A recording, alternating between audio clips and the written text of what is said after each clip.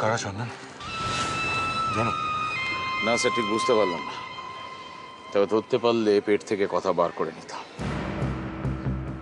আমাদের মধ্যেই কেউ ওদের পরিচয় জানে আচ্ছা সন্দীপ তুমি এখানে কি করে? তোমার কাছে কি কোনো খবর ছিল? হ্যাঁ স্যার। ছিল।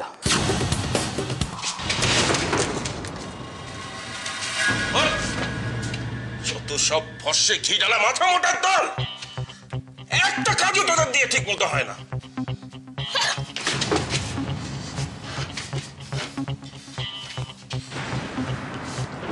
কি বলছেন চন্দন বাবু তারপর? সন্দীপ দা সন্দীপ দা ওখানে কি করছে? আশ্চর্য! ব্যাপারটা আমার কাছে খুব মিস্টেরিয়াস আপনি থাকুন। আমি এক্ষুনি যাচ্ছি। দাদার বিয়ের লিস্ট বানালাম কি কি শপিং করতে হবে না করতে হবে আর আমি শপিং এ যেতে পারছি। না তুই ঘরে বসে ইনস্ট্রাকশন দিবি। আর তোর সমস্ত অর্ডার আমরা ফলো করব। কোনের শাড়ি কেনা হলে আমাকে প্লিজ একটু দেখিয়ে নিয়ে যাস। শুধু কোনের নয় রে।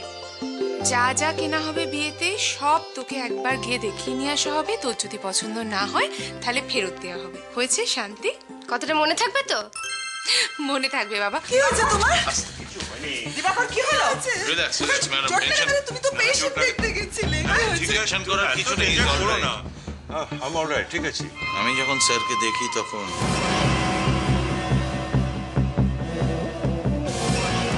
আমার আগেই অবশ্য সেখানে সন্দীপ পৌঁছে যায়। সন্দীপের সাথে ওখানে একটা স্কাফল হয় তার ঠিক আগেই স্যারকে ওরা ইনজিউর করে। নিতাই তাড়াতাড়ি। কি হয়েছে বাবার?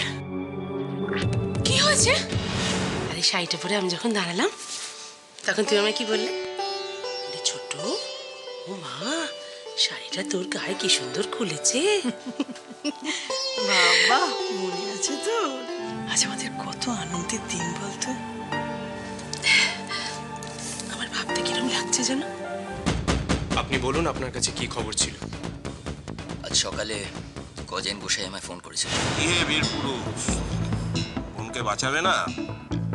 যাও। আর কিছুক্ষণের মধ্যেই তো তার শ্বশুর হাওয়া হতে চলেছে। তাই তুই আমায় ফোন করেছিলি দাদা? সন্দীপ তো আমাকেও সকালে ফোন করেছিল। আসলে আমি চাইনি আপনাদেরকে টেনশনে ফেলতে। ঠিক ওই মুহূর্তে আপনি ঠান্ডা মাথায় আমার বাড়ির লোকের কথা চিন্তা করেছেন। Really I am grateful to you না না ময়ূক বিষয়টা কিন্তু সেরকম নয়। এক্স্যাক্টলি বিষয়টা কীরকম? খুব পরিষ্কার। ডক্টর দিবাকর দেবরায় আমার বাবা। সেই ডক্টর দিবাকর দেবরায়কে কিডন্যাপ করার প্ল্যান থাকলে তো আমাকে অথবা দাদাকে ফোন করে জানাতো। তা না করে আপনার কাছে প্রথমে ফোনটা গেল কেন? তাহলে কি আমরা ধরে নিতে পারি যে গজেন গোসাইয়ের সঙ্গে আপনার নিয়মিত যোগাযোগ আছে? ময়ূক